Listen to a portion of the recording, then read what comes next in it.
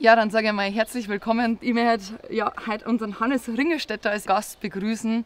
Ja, wir sind bloß ein paar Meter weg von unserem Hagen in Straubing, wo ja normal jedes Jahr das Geiwohn-Volksfest in Straubing stattfindet. Leider müssen wir uns nochmal 365 Tage länger drauf freuen. Es geht erst nächstes Jahr los. Hannes, was sagst du dazu?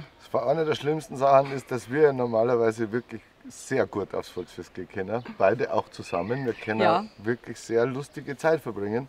Und das ist uns jetzt heuer nicht vergönnt. Aber ja, furchtbar ist es halt irgendwie, oder? Also irgendwie ist es schlimm, weil man halt so gar nicht weiß, was macht man jetzt da in diesem August genau. Aber wir kriegen das schon hin. freuen wir uns halt ein Jahr länger. Du bist ja nicht so der, der, der Lederhosenträger, gell? Weil du bist nicht. nicht so der. Nein, aber das ist, äh, ich glaube, das ist tatsächlich äh, so, wenn man so ein Kind der 80er ist, so wie ich, da war das überhaupt nicht so. Also wie wir mit 15, 16, 17 aufs Volksfest gegangen sind, hat keiner Trachtung gehabt. Niemand. Das, waren, das war damals nicht so. Und dann auf einmal ist das aufgekommen und dann denke ich mir, was ist denn jetzt los? Ich bin ja erstmal total erschrocken, weil ich mir gedacht habe, sind sie jetzt alle in den Trachtenverein eintreten oder was? Das habe ich überhaupt nicht mitgekriegt. Ähm, aber ich, ich, bin das nicht. Also ich finde, mir gefällt das total gut und ich schaue mir das wahnsinnig gern an. Aber ich bin es einfach nicht. Und dann finde ich es find auch komisch, wenn man so, so faschingsmäßig das macht. Das finde ich irgendwie unglaubwürdig. Wenn es jemand spürt, dass er das ist und zeigt das gern an, habe ich überhaupt nichts dagegen. Aber ich habe das nicht. Ich habe noch nie den Drang gehabt, äh, Lederhosen anzuziehen. Außer ich hatte, mein Vater hat mir zu meinem 18. Geburtstag eine geschenkt, so eine lange, so eine schwarze, also sehr mhm. schöne. Und die habe ich eine Zeit lang getragen, weil das halt praktisch war. Weil die hast einsauen können und hast nicht waschen müssen, abwischen und gut was. Das Konzept habe ich immer verstanden. Ja, das ist schon gut. Also da kenne ich aber Freunde, die so richtig urige Lederhosen noch von ja. die Eltern haben, die du schon hinstellen kannst, die steht ja, von allein. Super. Das ist, äh, das ist schon cool, die Tradition. Ähm, wenn wir gerade äh, von Kindheit reden, ich habe letztens überlegt, was ich mir immer am meisten gefreut habe als Kind oder was so meine erste Erinnerung war. Und ich weiß, mein Opa, der hat mir immer 20 Chips in der Düden vom Kinderkarussell gegeben. Mhm ich war da happy ohne Ende. Ich habe mich immer gefreut, wenn mir der Opa die Düden Chips gegeben hat. Und dann bin ich da gefahren wie eine Narische, bis mir schlecht war. Damals ohne Alkohol, mhm. heute mit Alkohol und ohne Karussell. Ich, ich habe ich hab mein, äh, fällt mir jetzt gerade ein, wenn ich mit meinen Eltern am Volkfest war, ähm, habe ich nur eine Sache machen dürfen eigentlich und das war Schießen. Und zwar bei diesem einen Schießstand, wo du gar nichts gewinnen kannst, sondern nur diese Figuren sind, dieser Klavierspieler Ganz kennst du diesen Stand? Die wo ausspritzt, der andere. Ah, ah, ah, dieser ja. Pinguin. Und so, so, das fand ich wahnsinnig lustig. Das mache ich heute noch manchmal, wenn ich ähm, auf Volksfest gehe, dass ich dann immer an den Stand gehe und einmal diesen komischen Klavierspieler wieder zum, zum Spielen bringe. Aber sowas finde ich super. Ich habe festgestellt, dass es gar nicht. Ähm, ich muss, also fahren kann ich nichts mehr. Bin, mir wird, mir wird wahnsinnig schlecht. Also ich kann, ich kann keine Achterbahn mehr fahren oder sowas finde es schön zum Anschauen. Mir wird aber tatsächlich jetzt beim Zuschauen schon schwindelig. Also ich bin schon auf der anderen Seite angekommen. Ich kann schon, wenn ich da aufschaue in so ein Looping oder so, denke, boah, nein, das geht nicht, jetzt gehe ich ein Bier trinken.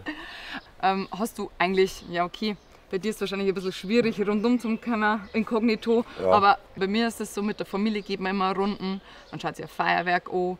Äh, ich schieße auch noch immer gern, ich los einmal. Also ich schaue persönlich immer, dass ich alles so so typischerweise abklappert, mhm. so, also jetzt nicht so streng. Nein, nein, aber, das heißt als so ein Ritual. Nicht, hast du da auch noch was, was du sagst, du schierst jetzt auch noch? Ja, ja, oder es geht an den einen Schierstand losen. Ich, ich, ich, hab, äh, da, da bleibe ich immer einmal stehen und schaue, was sich neue Sprüche ausgedacht hat. ähm, dann, da gehe ich immer vorbei bei dem, den finde ich immer noch super. Ich finde diese, allein die Idee finde ich Wahnsinn. Wenn man das mal setzen lässt. Das war doch noch Klammerl. Da steht und die ganze Zeit nur pfeift und Blätter herritt und kriegt Geld dafür, das ist eigentlich Wahnsinn. Eigentlich genau das, was ich auch mache. Komische Idee. Und, aber ich muss nicht Pfeifer schauen. Und na, das, also ich, ich gehe halt auch immer an denselben Ort, aber das bin ich in alle Sachen so. Ich gehe auch, bin ja also ein Stamm, Stammkunde, Stammkundentyp überhaupt. Ich gehe immer gern an dieselben Orte, ich fahre gern, was mir mal gefallen hat, fahre ich auch gern wieder hin. So. Und ein Volksfest ist auch so. Ich habe bei diversen Festwirten einen Tisch, wo ich mich hinsetzen kann mit meinen Freunden. Das ist wunderbar. Ähm, ja, du bist ja auch vorher unterwegs und ich muss auch, ja, was heißt gestehen, man geht natürlich einmal auf die Wies, man geht einmal auf ein anderes Fest. Total super, aber ich finde, ich weiß nicht, ich finde, dass in Straubing ein anderes Gefühl ist, wie es woanders. Oder was findest du da denn, den also ich glaube, das, das, das Erste, was man dazu sagen kann, ist, es ist halt Heimat. Ich glaube, dass das jetzt gar nicht mal so im, in dem Fest selber liegt, sondern das Gefühl, das man halt selber dafür hat. Ja. Das ist mal das eine, das ist halt Heimat. Zweitens glaube ich, dass wenn man wenn man es halt von früher auch noch kennt, dann sehe das, das Volksfest immer noch so wie früher. Mir fällt das gar nicht auf, dass da Zeit gibt. Für mich ist das immer noch gleich, weil es sich eben für mich gleich anfühlt. Ähm, ich mag die Wiesen zum Beispiel schon. Also ich bin wahnsinnig gern auf der Wiesen draußen. Also ich finde diese großen Biergärten, ob das jetzt der Augustiner ist oder andere, das finde ich was total Tolles, weil, weil du da wirklich dir begegnest, so mit Menschen aus der ganzen Welt. Das ist, finde ich, großartig. Das hat Straubing nicht. So, dieses, dieses, sagen wir mal, das Multikulturelles. Ähm, aber dadurch, dass für Niederbayern der Oberpfälzer ja schon multikulturell ist, in, der- in der Ansage, äh, ist es dann doch wieder multikulturell. Also ich finde, ich glaube trotzdem immer noch, dass es einen Unterschied gibt. Und zwar, dass alles, was am, am Geibodenfest äh, entsteht, von Leid von hier ist. Und auch wenn das auf der Wiesen immer wieder gesagt wird, aber wir wissen alle, Paulaner ist ein Weltkonzern. Und das hat nichts mehr mit München zu tun oder sehr wenig. Aber hier, ob das die Brauereien sind oder ob es die Wirte sind und auch früher der Schausteller sind, ähm, wenn das nicht gerade das fahrende Gewerbe ist, hat es immer noch eine Verwurzelung zu hier. Und du kennst halt den Fest- Festwirt auch persönlich, weil der vielleicht mit dir in die Schule gegangen ist. Ja, genau. So. Und das ist ein großer Unterschied.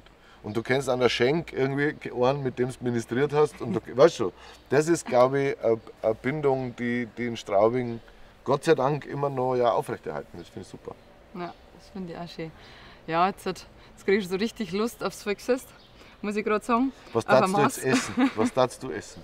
Ein Schwammerl Bier mit Semmelknödel. Das ist das Bier. Also, ich weiß nämlich keiner, die, kann, die isst da gar nicht richtig am Volksfest. Immer nur ihre Schwammerl. Immer, kannst du mir Schwammerlbrühe mit Semmelknödel? Ja, aber das ist gut, aber das ist gut. Das ist gut. Ich habe die auch gegessen letztes Jahr. Oder ein Lingerl.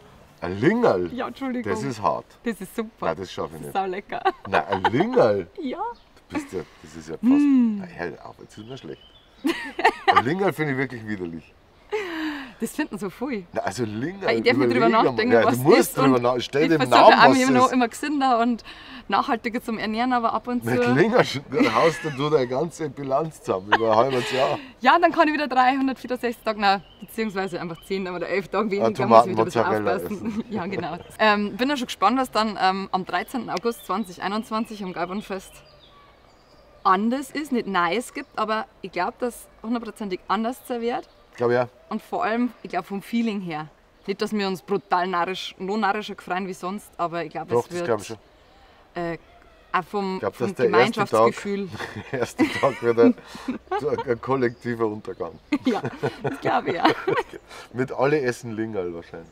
Was machst du als erstes am Ich Volksfest? auf jeden Fall erst einmal ein Bier. Das glaube ich. Das ist ein sehr Auf gutes Vorhaben Fall. und ich glaube, so verabschieden wir uns jetzt, Genau. weil wir brauchen jetzt dringend was zum Trinken. Danke dir, Hannes. Gerne.